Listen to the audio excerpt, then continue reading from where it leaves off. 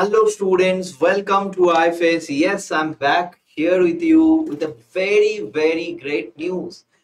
Clarity बहुत important होता है मेरे दोस्त आप जब भी कोई एम को लेकर चलते हो या कोई प्लान बनाते हो the clarity the vision about it is very important और इस विजन में कोई भी एग्ज़ाम प्रिपरेशन करने के वक्त पे हर एक स्टूडेंट्स जब भी ये प्रिपेयर करते हैं तो हमारे अंदर एक ही चीज़ होता है मेरे दोस्तों कि कब एग्ज़ाम होने वाला है finally you have a clear vision आपको पता है H R D G C S R का एक नया तरीके है। कि ट्विटर के माध्यम से बहुत इंपॉर्टेंट कुछ न्यूज़ आपको बता दे। दो घंटे पहले ही ट्विटर में ट्वीट्स आए हैं, आप देख सकते हो।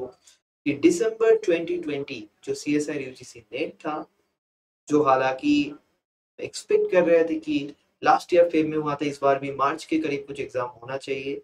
लेकिन नहीं जी, फिर से वो साइकिल रिपीट होने वाला है, पहले जैसा, यानी जून के करीब जाके एग्ज़ाम होगा। यानी कि जून 2023 का एग्ज़ाम और दिसंबर 2022 का एग्ज़ाम मार्च कर लिया जाएगा। इसका और कोई कारण नहीं, एक ही कारण है कि पहला जैसा प्रॉपर टाइम जोन मिल जाए तो अच्छा ही हुआ। इसके बाद से स्टूडेंट्स थोड़ा बहुत कंफर्म आप रह सकते हो, पहले जैसा कि जून और दिसंबर इस साइकिल में दो बार ईयरली एग्ज़ाम होगा। तो ये आपके लिए बहुत बढ़िया न्यूज़ है। एटलीस्ट ये कोविड की वजह से जो भी स्केड्यूल में डिफरेंसेस आए थे, अभी वो नहीं रहेगा।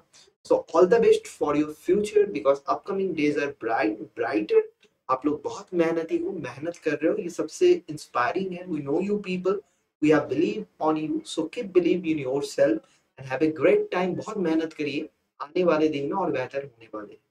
उसके अलावा भी नेक्स्ट मंथ पे गेट एग्ज़ाम है, फिर सेट एग्ज़ाम है। तो इस साइकिल में आपको रहना है, आपको भटक नहीं जाना है एग्ज़ाम बहुत दूर है। हर एग्ज़ाम पे अपेयर करिए और हर महीने पे ही आपका जो भी डेवलपमेंट हुआ है, उसके ऊपर नज़र रखिए ऐसा नहीं कि एग्ज़ाम आने के बाद दो, उसके बाद पढ़ेंगे। या फिर पहले से कुछ स्टूडेंट जो प्रिपरेशन ले रहे थे, उसको कभी कभार लगता है, यार, सब कुछ तो पढ़ के रखा हूँ। ऐसा नहीं। आपको एग्ज़ाम वाइज पीवाई क्यू देखना है। एग्ज़ाम वाइज खुद का लेवल को टेस्ट करना है।